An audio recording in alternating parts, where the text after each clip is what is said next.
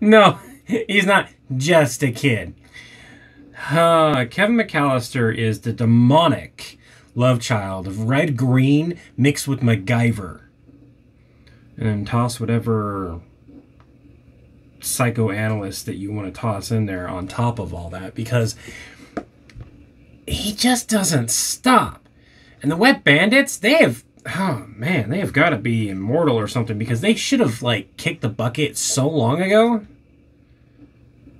Location does matter. Uh, do not attack him at his house or any type of you know any type of building at all. Well, I mean, he took an abandoned building and turned it into a fortress with very limited supplies. A tackle shop. you ever seen the movie Final Destination?